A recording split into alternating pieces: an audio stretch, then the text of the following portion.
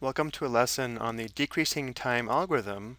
In this lesson, we will apply the decreasing time algorithm to determine a priority list and then create a schedule using the list processing algorithm.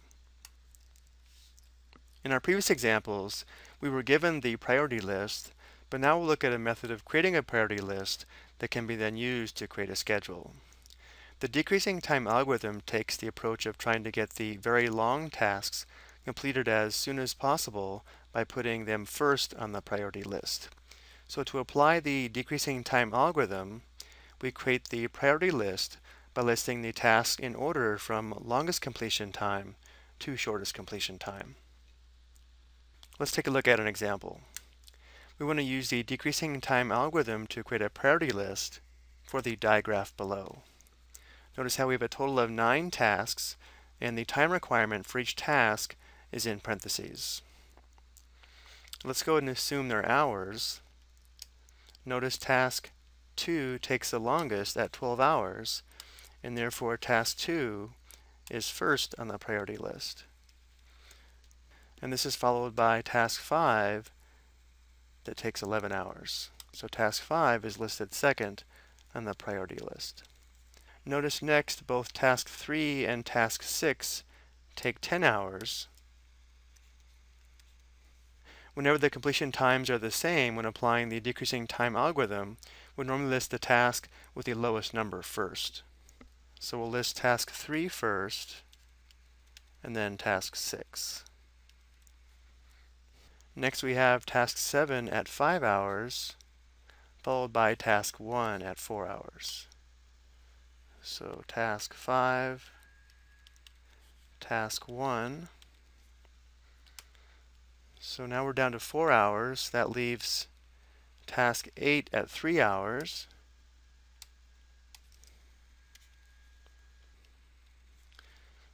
Notice the last two tasks both take two hours, task 4 and task 9.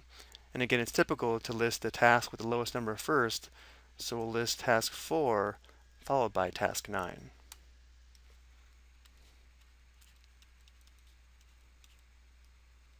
Now to enter this into our homework, we'll just enter 253-651-849.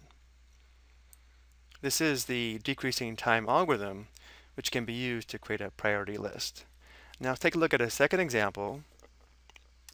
Here we want to use the decreasing time algorithm to create a priority list from the digraph below, just like we just did, and then use the list processing algorithm to create a schedule.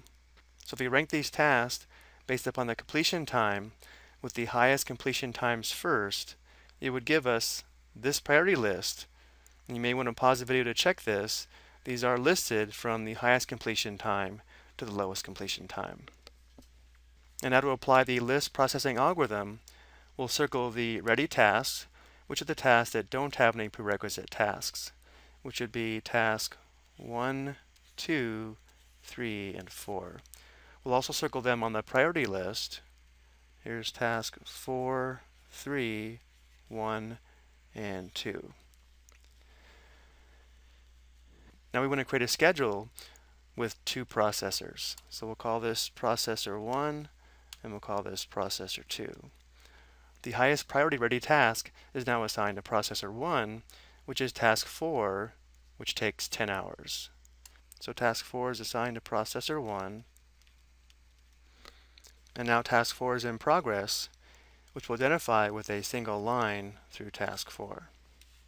The next highest priority ready task is task 3, which is now assigned to processor 2. Task 3 takes 9 hours.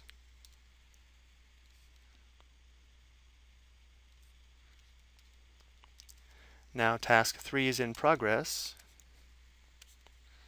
Notice after 9 hours, task 3 is complete. So we'll put an X through task 3 showing it's complete. Notice once task 3 is complete, task 7 now becomes ready. And task 7 is the highest priority ready task, and therefore it's assigned to processor 2. Task 7 takes 11 hours. 9 plus 11 is 20. Task 7 is now in progress. After 10 hours, task 4 is complete, So task 4 is now complete. Notice there are no new ready tasks, and therefore the next ready task is task 1, which is now assigned to processor 1. Task 1 takes 8 hours. So 10 plus 8 is 18. Task 1 is now in progress. After 18 hours, task 1 is complete. Notice there are no new ready tasks because task 5 requires both task 1 and 2 to be complete. Therefore, the next ready task is task 2, which is now assigned to processor 1. Task 2 takes 2 hours. So 18 plus 2 is 20.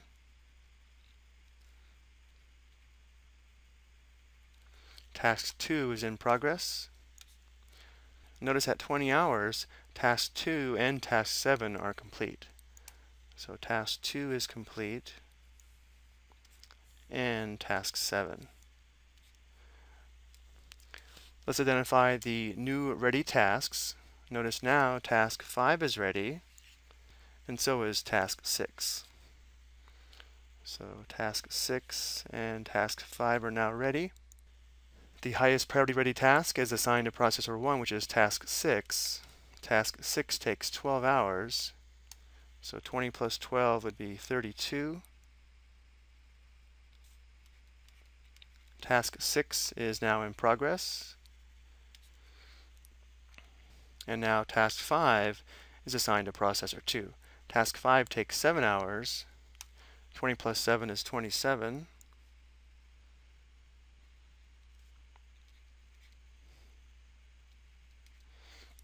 Task 5 is now in progress.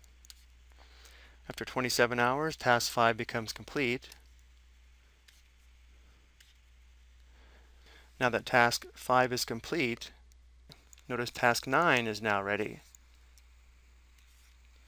Task 9 is the highest priority ready task, and therefore it's assigned to processor 2. Task 9 takes 5 hours, so here we're at 27. 27 plus 5 would be 32.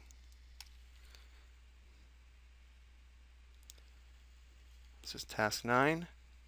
Task 9 is in progress. Notice at 32 hours, both task 6 and task 9 are completed. So task 6 is completed, and so is task 9. Notice now task 8 is ready. Therefore, task 8 is assigned to processor 1. Task 8 takes 6 hours.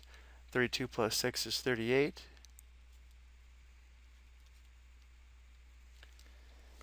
Task 8 is in progress. Notice once task 8 is assigned, there are no ready tasks, and therefore processor 2 cannot be assigned a task at 32 hours. It isn't until task 8 is complete, after 38 hours, we have another ready task. So at time 38 hours, task 8 is complete, which now makes task 10 ready, processor 1 is the first available processor, and therefore task 10 is assigned to processor 1. Task 10 takes 3 hours. 38 plus 3 brings us out to 41 hours. And now all tasks have been assigned and the schedule is complete. Again, notice after 41 hours, task 10 becomes complete, and therefore the project is now complete. Notice how processor 2 remained idle for the last 9 hours, from 32 hours to 41 hours. And here's the same schedule in color if it makes it easier to read. Again, this is idle time. This is processor 1, and this is processor 2. Now you might be asking, does the decreasing time algorithm give us a good schedule? To get some idea how good or bad a schedule is, we can compute the critical time which is the minimum time to complete the job. To find this, we look for the sequence of tasks with the highest total completion time. So for example, if we follow this sequence here, task 1, 5, 9 to the end, the total time would be 8 plus 7 plus 5 hours, or 20 hours. The critical time would be the path with the longest total completion time. So we could also take this path here, task 1, 5, 10 to the end, which would be 8 plus 7 plus 3 hours, which equals 18 hours. Or we could take this path, task 2, 5, 10 to the end. That would be 2 plus 7 plus 3 hours, which equals 12 hours. Or task 2, task 6, task 8, task 10 to the end, which is 2 plus 12 plus 6 plus 3, which would be 23 hours, or task 3, task 7, task 8, task 10 to the end, which would be 9 plus 11 plus 6 plus 3, which equals 29 hours. The last sequence would be just task 4, which is only 10 hours. So the critical time is 29 hours.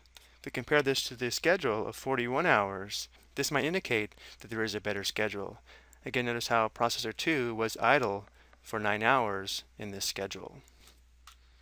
I hope you found this helpful.